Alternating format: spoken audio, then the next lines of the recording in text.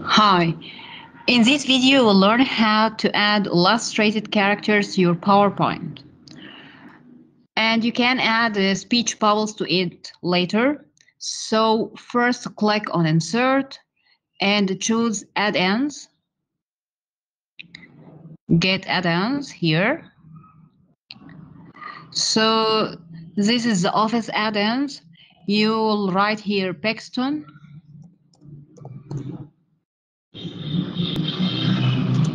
in the search.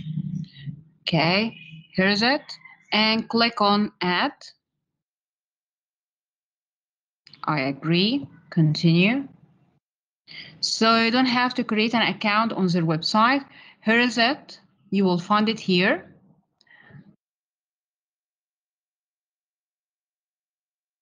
Click on get started. Then choose uh, if it's your character, male or female, and choose the type of body. So I'm going to choose this one. Then the hair color, hairstyle, and the outfit. Then after this, in an empty slide, I'm going to add which pose I prefer. It's, of course, according to my own story. So if she is running, okay.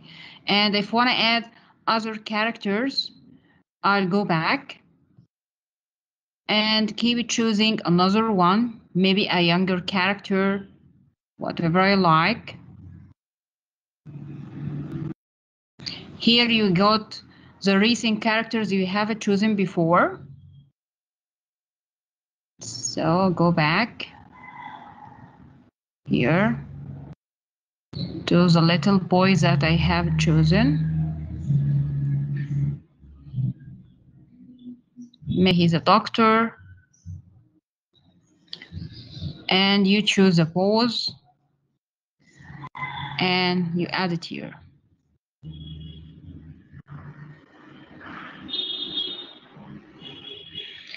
Course, you can after it add speech bubbles from shapes.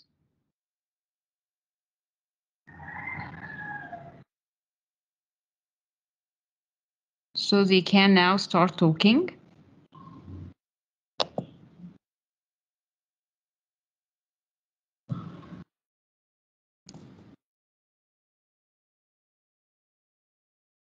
That's it.